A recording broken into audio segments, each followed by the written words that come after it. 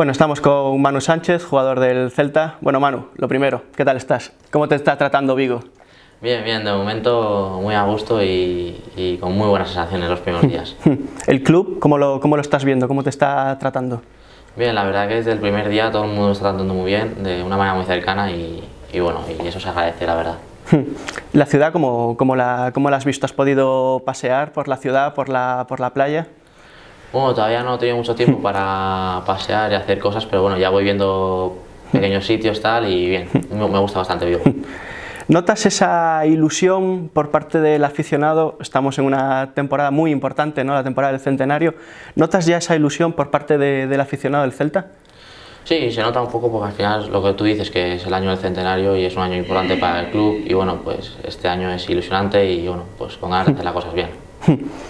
Bueno, tu paso por Osasuna el año pasado ha sido una temporada espectacular, tanto para ti, que has tenido continuidad en el, equipo, como para el equipo, ¿no? un séptimo puesto, llegar a la final de, la Copa del Rey. ¿Cómo, cómo valoras esa temporada que, has tenido en Pamplona? Pues bien, muy, muy positiva y la guardo para el recuerdo porque, como tú dices, fue una temporada hmm. yo creo que histórica para, para Osasuna y bueno, pues llegar a una final de Copa y luego clasificarte para la Conference pues es algo bastante bonito y bueno, hmm y ojalá poder repetir esos éxitos ahí.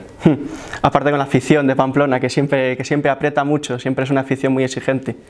Sí, allí la afición es muy exigente, también es muy cercana, anima mucho y bueno, pues eh, espero que aquí con la de Celta pueda conectar igual de bien. Sí, aparte eh, da la casualidad que el primer partido, tu, tu, debut en Liga con la camiseta del Celta va a ser precisamente contra, contra Sasuna. No sé si has recibido algún mensaje de algún compañero tuyo mandándote alguna picada como para el partido del, del domingo.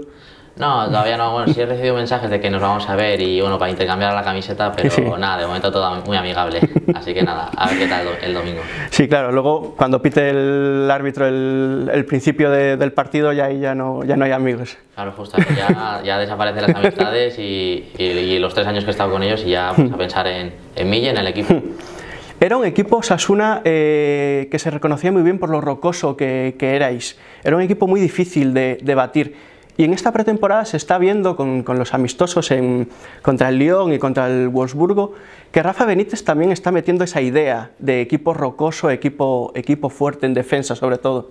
No sé si lo estás viendo tú así. Sí, es, es bueno que, no hayamos encajado apenas goles y es de positivo porque eso significa que estamos haciendo todo el equipo un gran trabajo a, a nivel de bloque, defensivo y bueno, pues sí que es verdad que si partes desde que de la defensa, de haciendo un buen trabajo y apenas recibes goles, pues bueno, al final es bastante positivo para el equipo porque eh, si no encajas y luego a la mínima que tienes pues puedes meter gol, pues es más fácil ganar los partidos. Claro, se comenta que si no encajas al menos te llevas un 0-0. eh, bueno, cambias de aires, llegas aquí al Celta. ¿Cómo se gestó ese fichaje? Bueno, fue todo bastante rápido y todo salió bastante bien, fue todo de la mano, o sea, eh, yo estaba interesado también y en cuanto supe de interés, pues bueno, eh, todo se hizo rápido por parte de los dos equipos y, y para mí era, una, era una gran oportunidad venir aquí al Celta porque es un club muy grande, un, un, un club histórico y bueno, pues también tiene jugadorazos que, que, bueno, pues estoy bastante feliz de estar aquí con ganas de hacer las cosas bien. ¿Hubo más ofertas de, de primera división, tanto de España como de, del extranjero? Bueno, yo estaba centrado un poco en mí, en el europeo, en estar aquí con la selección y y ya pues cuando apareció el Celta pues todo se dio rodado y, estoy bastante feliz la verdad de que se ha dado así.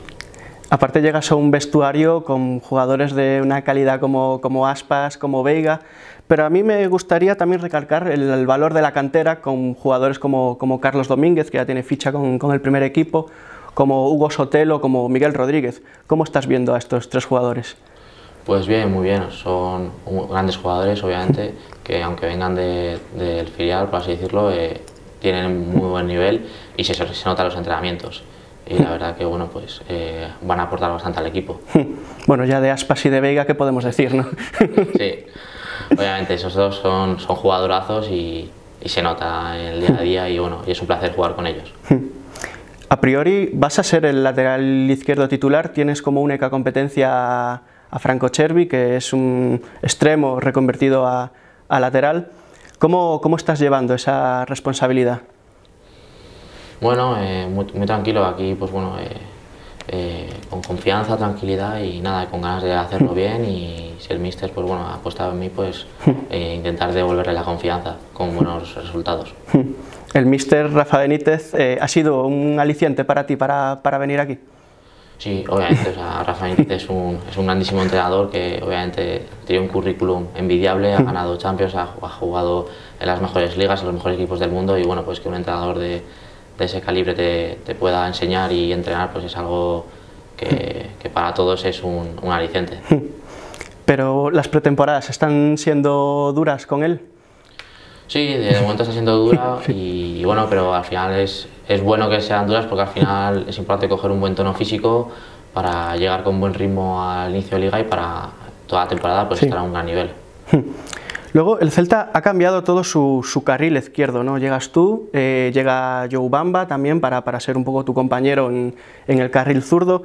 ¿Cómo te, ¿Cómo te entiendes con él? Porque es bastante fundamental entenderse en, en los carriles, ¿no?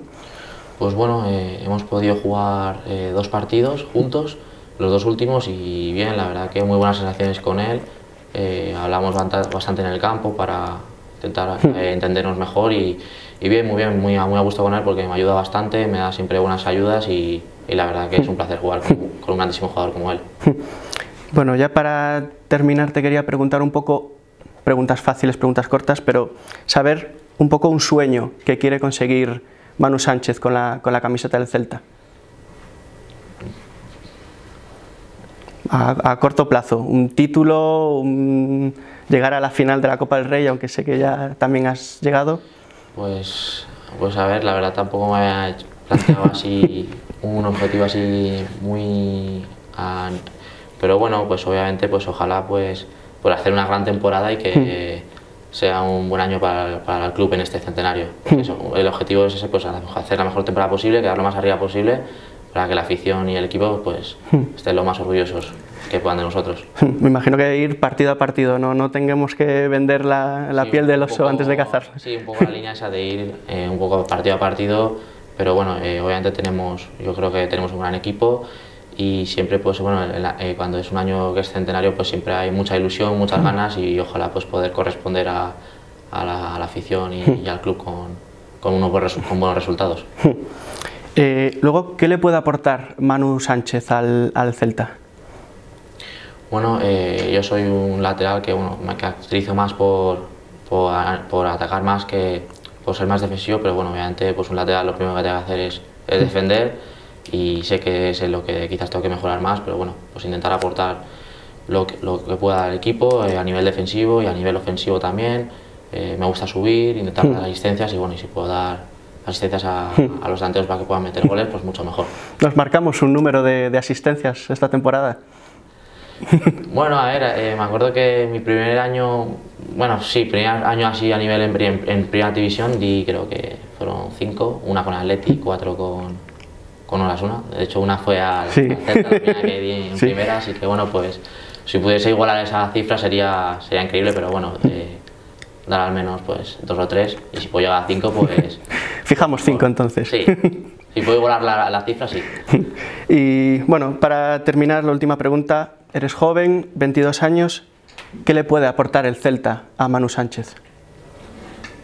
Pues bueno, eh, una de las razones también por las que yo vengo aquí al Celta es porque bueno, apuestan por mí y me han dado la confianza para, para venir aquí y bueno, pues al final pues eh, quizás lo que no he tenido estos últimos años que es una estabilidad de llegar a un equipo que confíe plenamente en ti y, y que apueste por mí y bueno, pues al final pues eh, firmo hasta el 2028 y bueno, pues me puede dar esa estabilidad y esa confianza para crecer mucho como jugador y para también yo, bueno, pues ayudar al equipo en todas las facetas del juego.